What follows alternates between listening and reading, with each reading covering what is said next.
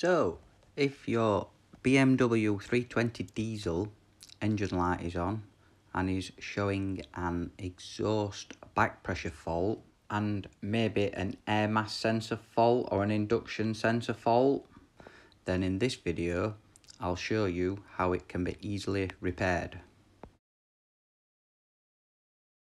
These are some of the fault codes that may be present causing this problem.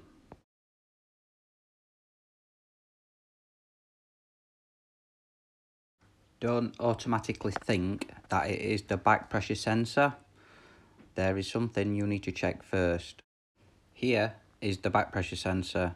Once removed you will see a bit of carbon build-up possibly.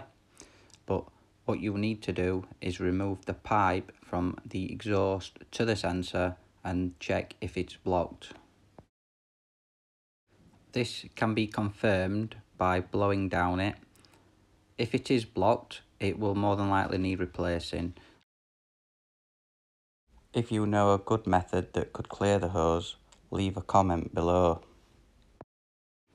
You could additionally change the sensor, but to be honest with you, I wouldn't bother.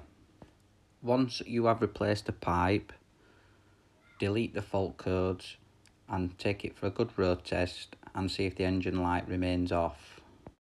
And as you can see, it's really easy to access and is literally just a couple of bolts and it is easily removed. As always, I hope you enjoyed the video and thanks for watching. This has been how to fix it please, why not give us a like and hit subscribe. And while you're here, why not check out some of these other interesting videos that may help you with your vehicle repairs. And I will see you on the next one.